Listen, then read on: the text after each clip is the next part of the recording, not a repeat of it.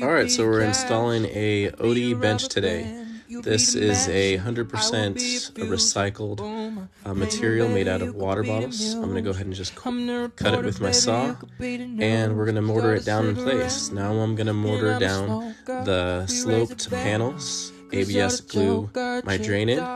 Like I said, it just cuts easy with a saw. And we have our slope done. Now I'm just going to apply some mortar over the top. Stay tuned for what's next.